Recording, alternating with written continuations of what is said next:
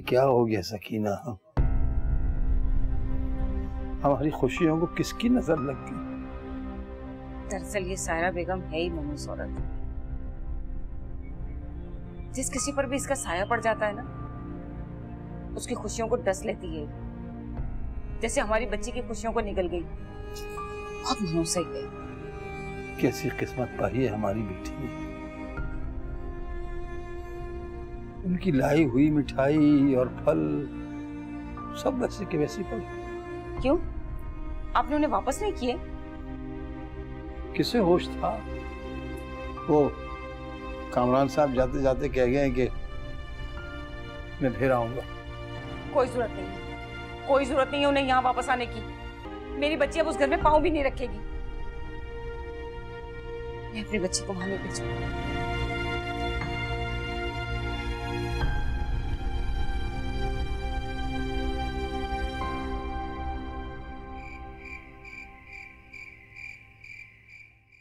اس لڑکی سوہانی کی شادی میرے ستیلے بیٹے زریات سے ہوئی تھی۔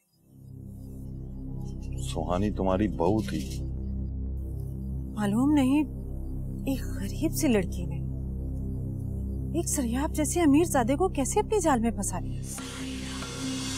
میں نے تو پہلی نظر میں دیکھتے اسے ریجیکٹ کر دیا تھا۔ لیکن سوہانی نے پتا نہیں اس پر کیسا جادو کیا سریاب نے اس سے شادی کر کے ہی دم لیا۔ تم نے سوانی کو کیوں ریجیکٹ کیا؟ کیونکہ وہ لڑکی اس قابل ہی نہیں تھی کہ ہمارے جیسے اعلیٰ خاندان کی بہو بنتی میں اچھی طرح جانتی ہوں کہ چھوٹے چھوٹے خاندان کی لڑکیاں چھوٹی چھوٹی حرکتیں کرتی اور اس نے وہی کیا۔ کیا ہوا؟ اب میں آپ کو کیا کیا بتاؤں۔ آوارہ تھی بد چلن تھی چور تھی۔ ممی جنید تم تو ایک سمجھدار لڑکی تم اس کے جال میں کیسے پھنس گئے؟ پتہ نہیں سوہانی جیسی چلتا لڑکی کو میرے ہی بیٹے ملتے ہیں جال میں پھنسانے کے لیے۔ ممی نہ سوہانی نے مجھے قابو کیا نہ اپنی جال میں پھنسایا۔ میں اسے خود پسند کرتا ہوں۔ میں خود۔ جنید میں تمہاری اس پسند پر حیران ہوں۔ حیران ہی نہیں پریشان بھی کہ تمہیں یہی لڑکی پسند ہے؟ شادی شدہ، بیوہ اور ایک بچے کی ماں۔ کتنی حکارت ہے تمہاری باتوں میں۔ کسی کا بیوہ ہونا یا کسی عورت کا ایک بچے کی ماں ہونا، گناہ ہے؟ مت بھولو کہ تمہارے اپنے بیٹے کی بیوہ ہے وہ۔ تمہارے بیٹے کا بیٹا ہے اس سے۔ اور وہ پوتا ہے تمہارا۔ چریاب میرا سگا بیٹا نہیں تھا۔ اور مجھے تو اس بات کا بھی یقین تھا کہ اس کی گود میں جو بچہ ہے وہ زریاب کا ہے بھی یا نہیں؟ دس از ٹو مچ کیا کہہ رہی ہیں آپ؟ آپ اپنی بہو پر بچلن ہونے کا الزام لگا رہی ہیں۔ بہت زیادہ زیادتی رہی تمہیں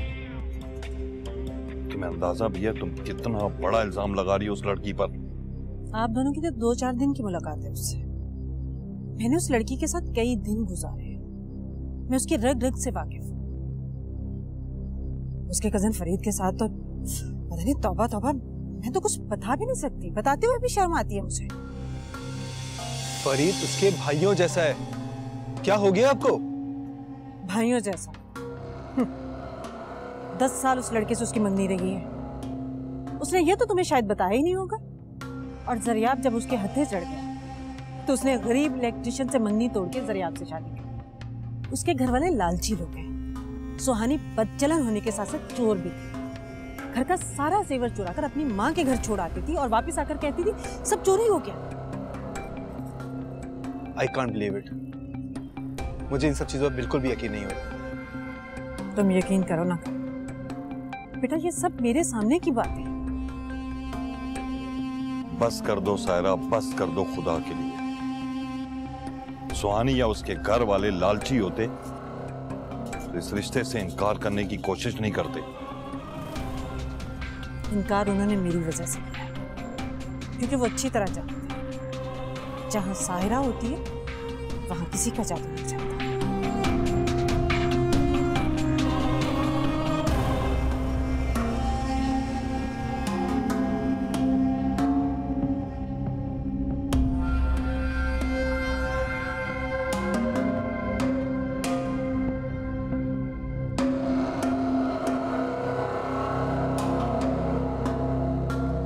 تمہیں اندازہ بھی ہے تم نے کیا باتیں کی ہیں؟ تمہاری باتوں سے کتنی تکلیف ہوئی ہوگی جنید کو؟ میں نے جو کچھ بھی کہا وہ سچ تھا۔ سچی باتیں کڑوی ضرور ہوتی ہیں۔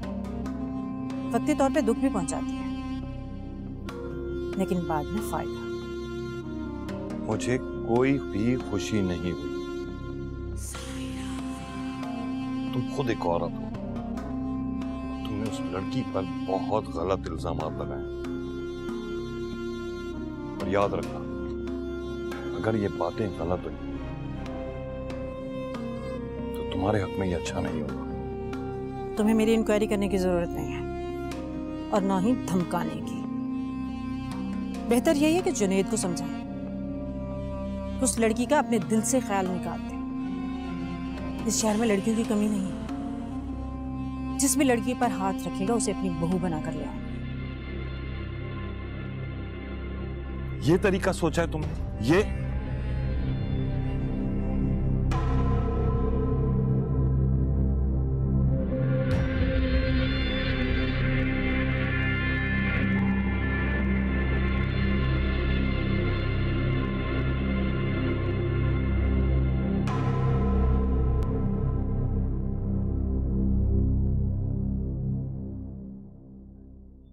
نے اس رشتے سے انکار کر دیا بالکل ٹھیک کیا۔ لیکن ایک غلطی ہو گئی ہم سے۔ کیا؟ ہمیں کامران بھائی کو اور جنید کو یہ ساری باتیں بتانی چاہیے۔ سائرہ کے بارے میں بتانا چاہیے۔ اب وہ منوس عورت پتہ نہیں گھر جا کر ہمارے بارے میں کیا بکواس کر رہی ہوگی۔ ہاں کہتے تم ٹھیک رہی ہو لیکن سائرہ کو ان لوگوں کے ساتھ دیکھ کر ایک دم غصہ آ گیا۔ ذہن نے کام ہی نہیں کیا۔ سائرہ آنٹی کچھ بھی کہیں اس سے کیا فرق پڑتا ہے؟ ایک واقعہ تھا جو گزر گیا ہے۔ آپ بھول جائیں اسے اس کے بارے میں سوچنے کی کوئی ضرورت نہیں۔ ارے بیٹا بیٹا، یہ اتنا عجیب و غریب واقعہ تھا۔ اتنی جلدی کیسے بھول جائیں اس کو؟ نہیں نہیں، احمد صاحب، آپ کو کامران بھائی سے بات کرنی ہی پڑے گی۔ آپ ان سے پوچھیں کہ وہ عورت ہمارے بارے میں کیا کیا بکواس کر رہی ہے؟ کیا باتیں کر رہی ہے ہمارے بارے میں؟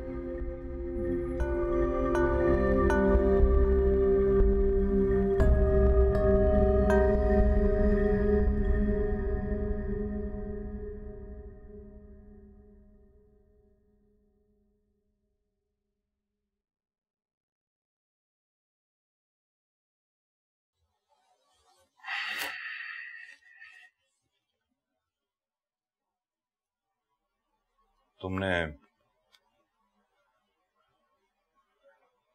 تم نے اپنی ماں کی باتیں غور سے سنی؟ مجھے ان کی بات پہ بالکل بھی یقین نہیں آ رہا۔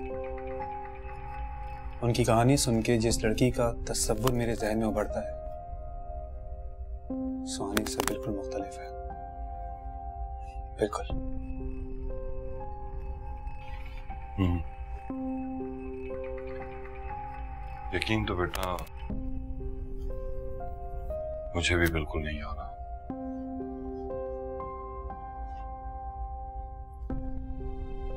پر جنید میری بات سمجھنے کی کوشش کرنا بیٹا۔ میں نے اپنی ساری زندگی بہت محنت کی، بہت پیسہ کمایا۔ مگر میرا سرمایہ صرف تم ہو بیٹا۔ صرف تم۔ میں سمجھ سکتا ہوں پاپا بالکل سمجھ سکتا ہوں۔ تم نے سوہانی سے بات کی۔ سوہانی سے؟ کیا بات کروں گا بابا؟ کیا کہوں گا اسے؟ کہ میری ماں تمہیں چور سمجھتی ہے، آوارہ سمجھتی ہے بچلن سمجھتی ہے۔ آپ کو پتہ ہے، سہانی کے لیے ایسے الفاظ تصور بھی کرنا میرے ذہن کو اسے دینے سے کم نہیں ہے۔ میں سچ بتا رہا ہوں۔ ٹھیک کہہ رہے ہو تم۔ بالکل ٹھیک۔ مگر بیٹا اس کے باوجود بھی میرا خیال ہے تمہیں اس سے بات کرنی چاہیے۔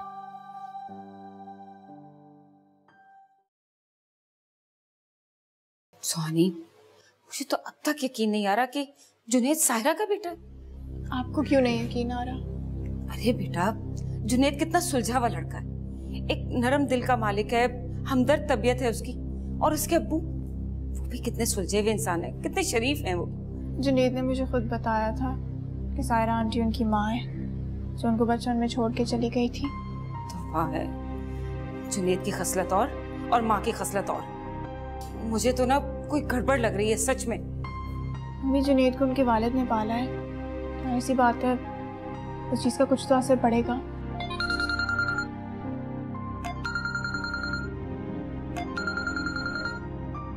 کا فون ہے بیٹا؟ جنید کا۔ ارے تو بات کیوں نہیں کی تم نے؟ امی میر امی میرا ذہن بالکل خالی ہو چکا ہے کورے کاغذ کی طرح۔ نہ کوئی جذبہ ہے نہ کوئی احساس ہے۔ میرے پاس کوئی الفاظ نہیں ہے۔ ارے تو تم اس کی تو سنتی دیکھو پھر سے جنید کا فون آ رہا ہے۔ بات کرو۔ امی میں نہیں بات کر سکتی آپ کیوں نہیں سمجھ رہی ہیں؟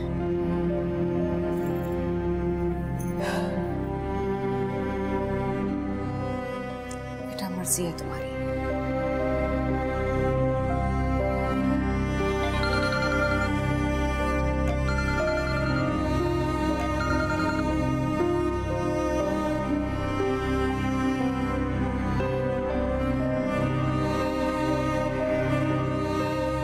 جنید، اس وقت میں بہت اپسیٹ ہوں۔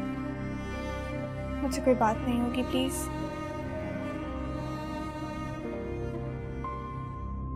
پاپا سہانی کا میسج آیا۔ وہ اس وقت بہت اپسیٹ ہے۔ وہ بات کرنے کے قابل نہیں ہے اس وقت۔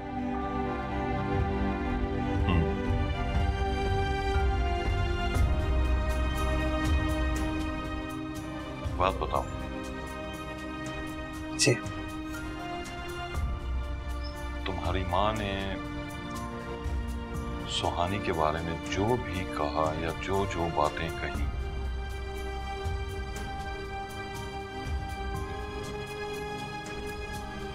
خدا نہ کرے بیٹا، لیکن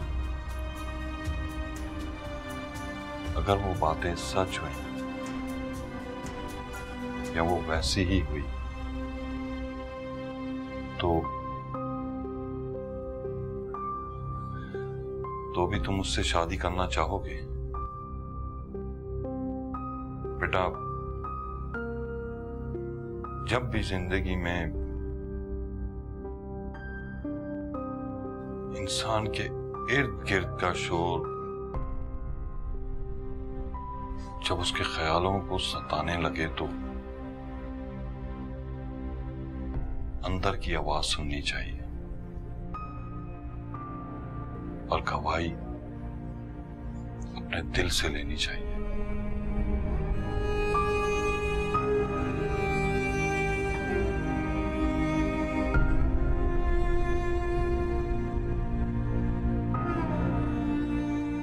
باقی میں ہر فیصلے میں تمہارے ساتھ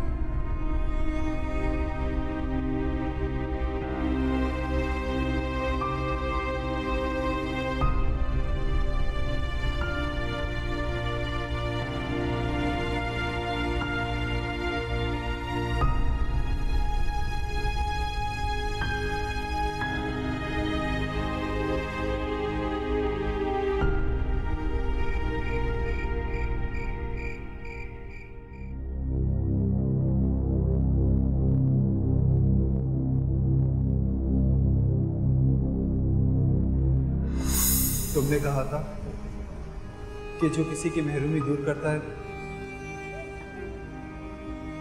اس کی محرومی خود بخود ہی دور ہو جاتی ہے۔ سانے ہم دونوں ادھورے ہیں۔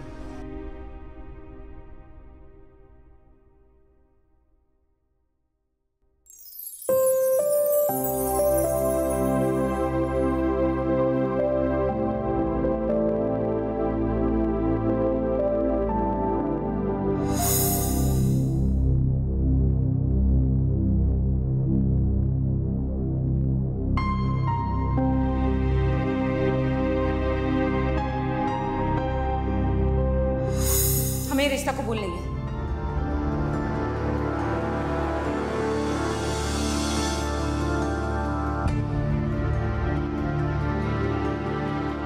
سوری کامران صاحب یہ رشتہ نہیں ہو سکتا کیوں احمد صاحب یہ اب یہ رشتہ کیوں نہیں ہو سکتا انکل یہ آپ ان سے نہیں اپنی وائف سے پوچھیں